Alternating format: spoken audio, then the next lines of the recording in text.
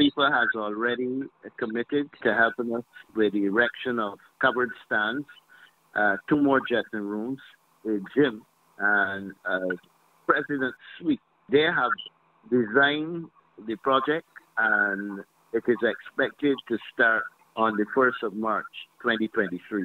So we have everything in place. I think you will be seeing the tenders out shortly, and it is a goal. We have Nations League in, in March. Uh, we also have our under 17 tournament in February in Guatemala. We have also have girls international competition later in the year, and we have our under 14 competition in August. So we have a pretty packed agenda for 2023, and of course, our league will be moving at full throttle since we had to break early in 2020.